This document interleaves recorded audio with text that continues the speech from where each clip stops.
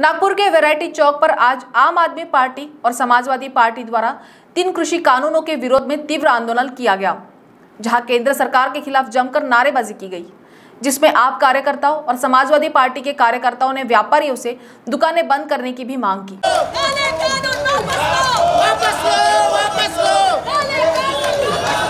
वापस लो वापस लो काले कानून वापस लो वापस लो वापस लो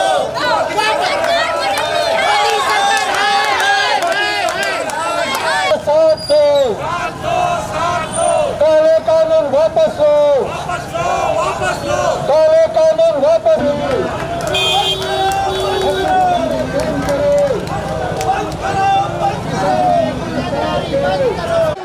ठीक है। तो जैसे कि अभी हम फ़िलहाल मौजूद हैं नागपुर के वैरायटी चौक के बर्डी के बाज़ार में जहाँ आप देख रहे हैं कि केंद्र केंद्रीय सरकार जो है मोदी सरकार के द्वारा जो विधायक, तीन विधेयक कृषि कानून जो लागू किया गया था, उसकी वापस लेने की मांग को लेकर आपके कार्यकर्ताओं का यहाँ पे जमकर हंगामा देखे जा रहे हैं आप आंदोलन किए जा रहे हैं वो तो आप, हम उन्हीं से जानते हैं कि ये मामला क्या है।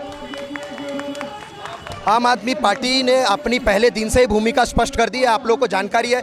दिल्ली के अंदर में किसानों को जिस भी प्रकार की हेल्प लग रही है, किसान जो बॉर्डर पे बैठे हुए दिल्ली के बॉर्डर पे बैठे हुए उन सारे किसानों को, आम आदमी पार्टी के तरफ़ से सारी सुविधाएँ, सारा पानी की व्यवस्था हो, चाहे मंडप की व्यवस्था हो, चाहे कोई भी व्यवस्था उनको लग रही है इवन वाईफाई की भी व्यवस्था आम आदमी पार्टी ने की है, ताकि किसानों के विरोध में जो तीन, देश के विरोध में जो तीन काले कानून मोदी सरकार ने लाई है, आम आदमी पार्टी उसका विरोध करती है। समस्या ये है कि सरकार के तरफ़ से बीजेपी आईटी सेल के तरफ़ से ये झूठ फैलाया जा रहा है लोगों के अंदर में, कि ये तीनों कानून किसानों के फ़ायदे के हैं किसानों के फ़ायदे में के लिए और साथ ही साथ जनता के फ़ायदे के लिए। अगर ढंग से उन किस तीनों कानूनों को पढ़ा जाएगा तो ये समझ में आएगा, ये तीनों कानून जो है, वो जन विरोधी है, किसान विरोधी है, देश विरोधी है। जिस तरीके से पेट्रोल के दामों के दाम का कोई माई बाप नहीं बचा अलग अलग बिजली के दामों का कोई माई बाप नहीं बचा, किसी भी तरह गैस सिलेंडर के दामों का माई बाप नहीं बचा। उसी तरीके से आने वाले समय में जो खाद्य पदार्थ है, जो कि चावल, अनाज, ये सारी चीज़ें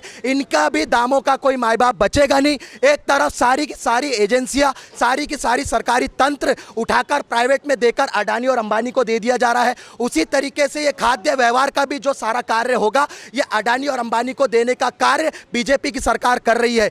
पहले जब आपको ध्यान में होगा, जब दूसरी सरकार थी, ये खुद मोदी सरकार विरोध करती थी कि एफडीआई ना आए। आज 100 परसेंट एफ़ इन्होंने रिटेल में लेकर आ गए ये सारी समस्या, ये जो दुकान भाई यहाँ पे खड़े दुकानदार भाई यहाँ पे खड़े हैं लॉकडाउन में इनका मरण हुआ अलग अलग समय में इनका मरण हुआ जीएसटी में मरण हुआ, साथ ही साथ में नोटबंदी के दौरान मरण हुआ। अब जब डी जैसी बड़ी बड़ी डी जियो मार्ट जैसी बड़ी बड़ी संस्थान अगर शहर के अंदर खुल जाएगी तो ये दुकानदार भाई कहाँ जाएँगे? हमारा किसान भाई कहाँ जाएगा? आम आदमी पार्टी पूरी तरीके से किसानों के साथ में है, इन व्यापारियों के साथ में है, हर उस इंसान के साथ में है, जो आज की तारीख में तकलीफ़ में है। मोदी जी को ये समझना पड़ेगा, भले ही उनको बीवी नहीं है, बच्चे नहीं है, पर कम से कम जिनके बच्चे और बीवी है, उनका दर्द समझो, उनके रोजी रोटी का दर्द समझो, और आने वाले समय में आम आदमी पार्टी इस कानूनों को लेकर, तीनों कानूनों को लेकर और अपना कड़ा रुख निभाएगी